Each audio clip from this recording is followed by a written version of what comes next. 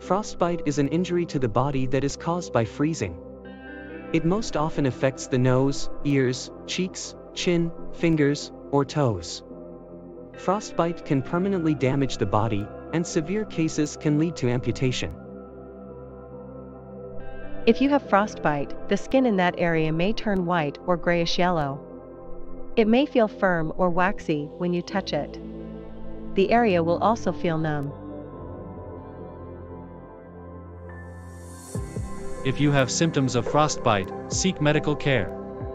But if immediate medical care isn't available, here are steps to take. Get into a warm room as soon as possible. If possible, do not walk on frostbitten feet or toes. Walking increases the damage. Put the affected area in warm, not hot, water.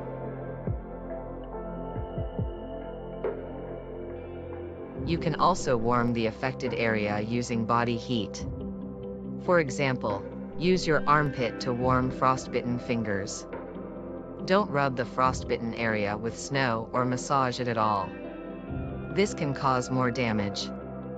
Don't use a heating pad, heat lamp, or the heat of a stove, fireplace, or radiator for warming. Since frostbite makes an area numb, you could burn it.